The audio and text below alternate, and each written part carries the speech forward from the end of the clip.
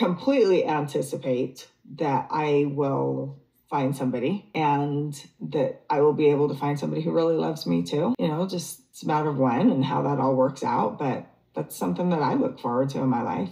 Family that we all have recently extracted ourselves from. You know, whenever we get together and have parties, it's always been a lot of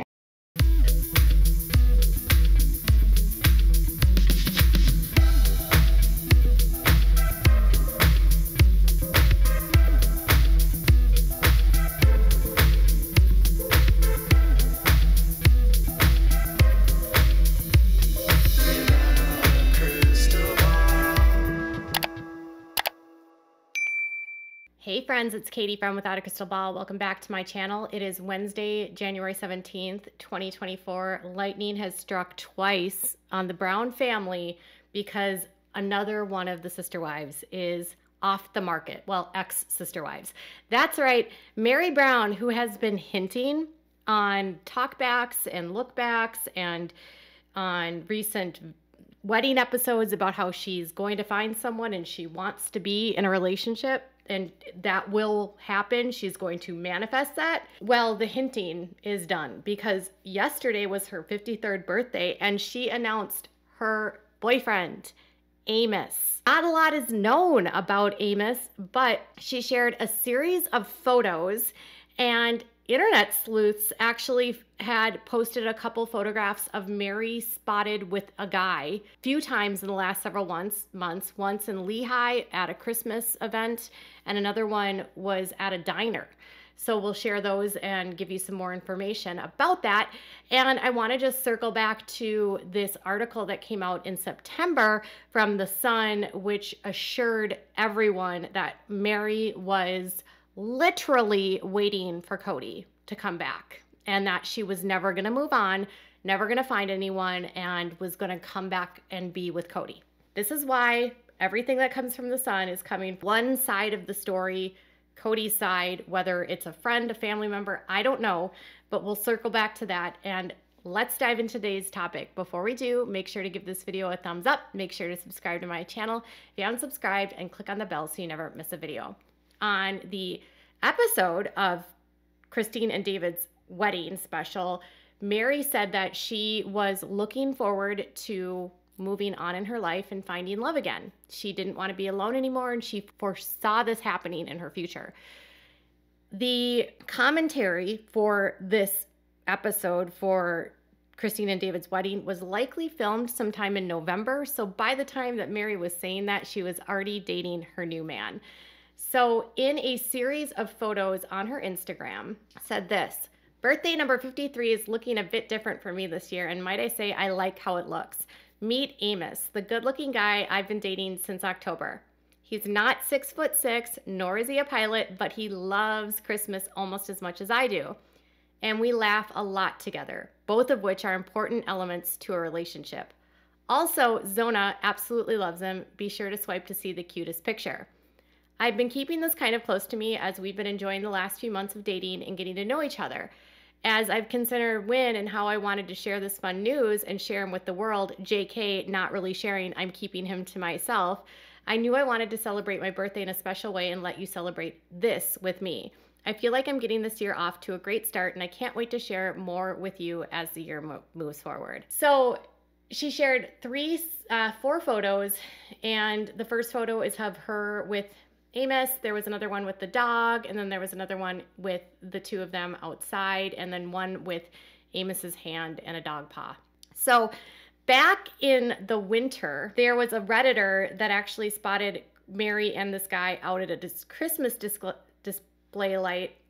And it said, I was at Christmas light display tonight at Thanksgiving Point in Lehi, Utah and Meri was in front of my group the whole way. She was definitely she has definitely moved on from Kody. This guy kept her close and warm. It was very nice to see her with someone. She looks happy. So this guy was also seen with her at a diner months ago again by a redditor which was posted on the Sister Wives Reddit.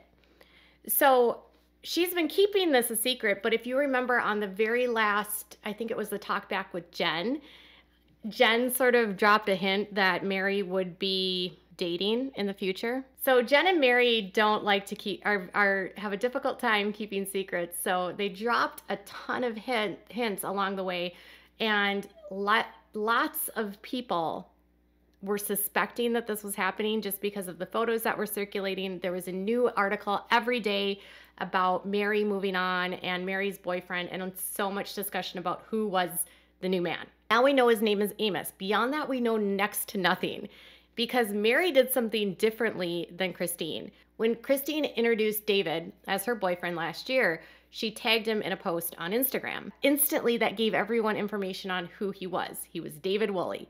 But Meri did not tag anyone and she only used his first name. So, right now, we don't really know a lot about him, and nobody has really said much of anything. I reached out to a couple of people I know from the AUB and none of them recognized him. So, as far as I know, he doesn't appear to be familiar to people within the AUB. So, I don't know that he, I don't believe he's a, you know, former polygamist. And she is not interested in sharing him. So, she is going to be in a monogamous relationship with him. So, if they have been dating since October, it has been three months that they have been together. Now, in the world of Mormon fundamentalism and Exmo world, that would mean they're engaged by now. in this world, marriages or courtships and dating is a very short period and they get married very quickly.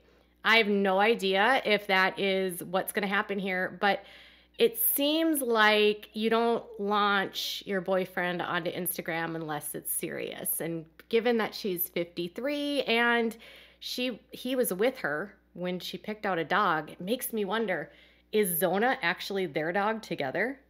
Like did they get a dog? We'll have to find out. Now, in comments, she was getting exploded with so much positivity and so much happiness and so much overwhelming praise for her finally finding happiness. She absolutely looks amazingly happy you know, getting rid of 180 or 90 pounds of curly locks, ramen hair, and finding a new man that's embracing his balding and not trying to hide it with bobby pins and noodles is it makes a woman look great. She's not dealing and it looks like he adores her. So that makes me super happy for Meri. Now, I want to circle back to an article that was out back in September.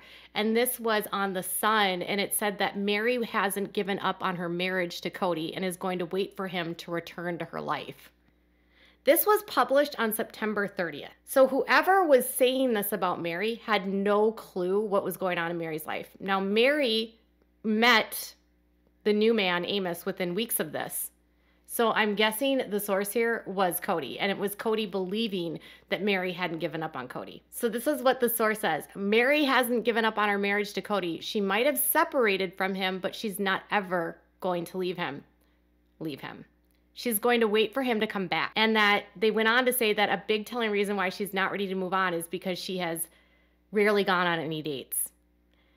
So I'm imagining Kody at his house in Flagstaff, just imagining all of these scenarios of Meri is still at home, in, is at the inn in Parowan, and she's still pining for him. And Janelle is going to get back together with him. Because remember, around the same time, he was saying that Janelle was wishy washy, or a source was saying that Janelle was wishy washy and might reconcile with Kody. Remember that? Okay. So this proves to me that Kody knows absolutely nothing. And she said, but the source went on to say she might not find love again because she's really not putting in the effort. She's perfectly okay with being independent and just enjoying this time with her friends and focusing on her businesses. You know, this is what the codester felt. And he just thought she was going to wait around forever and sit there and pine for him and never find love again.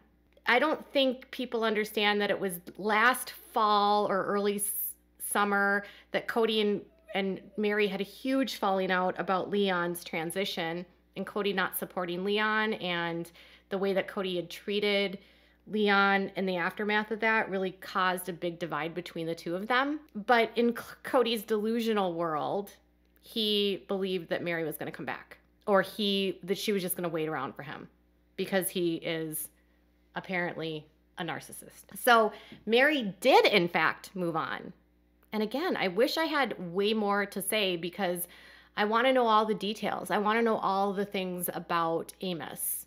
I mean, okay, so he's not a pilot. He's not six foot six. He is cute. She looks very happy. Meri deserves happiness after all of her years of pining around and waiting around to find love or waiting around for Kody. Now, I do want to preface this by saying there's a lot of outlets right now that are saying that she's found love again a year after her split from Kody. And I'm thinking, she and Kody split like more than eight years ago, nine years ago. She just formally left the family last year or in 2022. She wasn't with Kody at all in any capacity. So it's not like she's moving on quickly. She's not. She sat in a dead relationship for eight years, nine years, maybe a decade where Kody wanted nothing to do with you, her. I mean, mind you, even before, so he brought in Robyn and he was melting down her wedding ring. So back in 2009, Kody was done with her. So she sat around in that marriage for that long with no no contact with him. You know, no and certainly nothing beyond 2015. So Meri isn't just quickly moving on and finding love again and rebounding. Meri has been solo, she's been independent, she's had nobody sharing her home with her for years. A little bit different than Christine, but not, I mean, at least Kody did go over to Christine's house, though not as much, but a definitely a different process here for Meri. Christine left because she didn't want to, she knew what was going to happen to her. It was going to be like what was happening to Mary and she didn't want to she didn't want that for herself. She didn't want that for meri. She wanted meri to find happiness. And so christine left instead of waiting around to see if kody would you know finally want her to be back in his life. And meri stayed but meri was never with him. So i kind of want to like tell people you know meri wasn't with kody that entire time. I reached out to some people from the aub and I shared some photos with them, and everyone was just so happy for Meri. Everyone was so glad that she had found love again, that she had found happiness. I know a lot of the people that have left the, the church and have left this group, they've all told me over and over and over again that all they've ever wanted for the women was to find love, was to find happiness, was to find what it meant to be in love and find someone that loves them for who they are and not for what they can give them in heaven. Now, I, as the days roll on, will be interesting to see what she rolls out about Amos.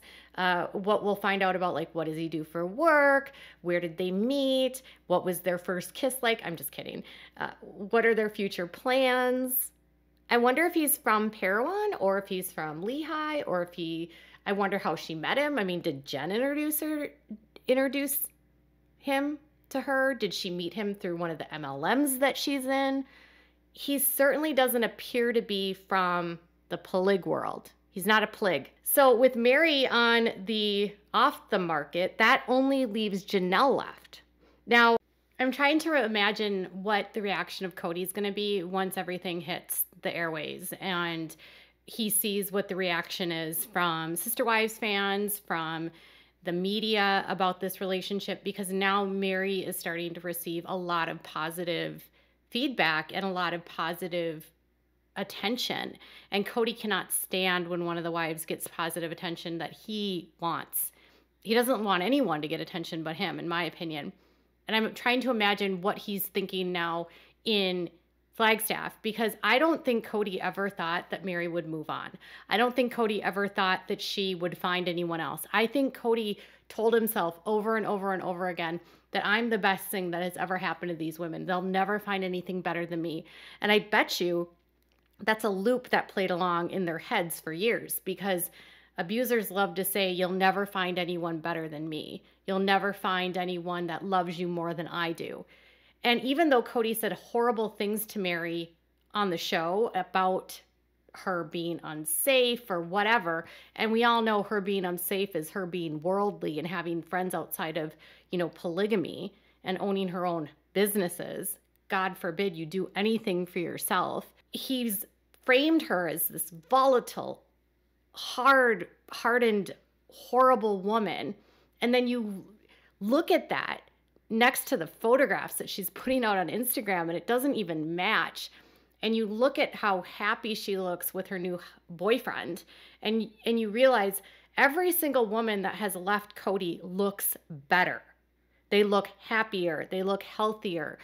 Several of them have lost weight even though it doesn't matter. They have their skin looks better. They look like all of the stress that they have been living under for years is gone. And Kody really thought he was God's gift to women. And this has got to be eating him alive because now another wife is getting attention for finding someone better. And they're going to be cheering her on and praising her for doing something for herself and taking care of herself and getting the love that she's deserved for years. For years. All of these women have deserved more than Kody, all of them. And I'm glad to see Meri moving on. I think of all of the wives, she deserves this in so many ways the most because she has been the most abused of all of the women by Kody. So back in Flagstaff, I have the sneaking suspicion that he is going to have a myriad of exclusives coming out from the Sun or whatever tabloid, and it's going to be all about some spin about this dude. Remember when Christine and David got together? The Sun would like somehow get these like leaks from the courts about, you know, a police report or a call to 911. And it always felt like Kody was like feeding them information. Now, you could do a little bit of sleuthing on David, but there wasn't a lot of in David's background beyond the fact that his ex or his late wife, you know, passed away. Beyond that, he didn't really have a trail. So, with this, with him being a complete anonymous and the fact that even only a few days ago the sun is publishing that Meri is going to wait for kody i mean they republished that t- uh, september 30th article in an article about how C- meri didn't care about not being invited to the wedding. So if Meri didn't care about not being invited to the wedding and the, the Sun thought a few days ago that Meri was never going to move on, Kody still probably thought that Meri was never going to move on. I have a sneaking suspicion he has zero contact with her outside of the show and they don't film together. So, with that being said, Kody's biggest fear in life is poverty. And I think that he did think, in a way, that even though he's sort of getting back into this world of monogamy with Robyn, I think in some ways, even though he ended things with Meri, even though Janelle left him, I think in some way he thought these relationships would come back together even though he says Meri was toxic for me and we didn't have a good relationship, I think in some way he wanted her to pine and maybe come back and like live in the barn on on the property in the shed and have access to that money. So now he really he's he's there's he's cut off from Christine's revenue stream and the biggest earner for the family was Meri and hers is like it's gone now. She's taking all of her businesses, and they still need to sort out a lot with their finances. They still own Coyote Pass together.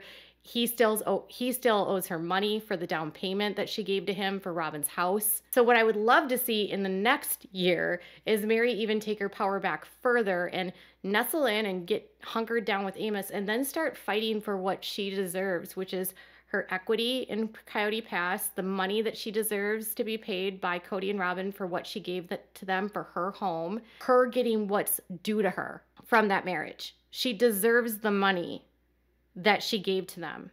She deserves all of that back. And I would love for it to happen in no better person than the man that has proclaimed that nothing scares him but poverty to after years of exploiting these women and stealing for them to have them finally show him what poverty is like and have him go back to his roots and have him lose everything. It couldn't happen to a better man.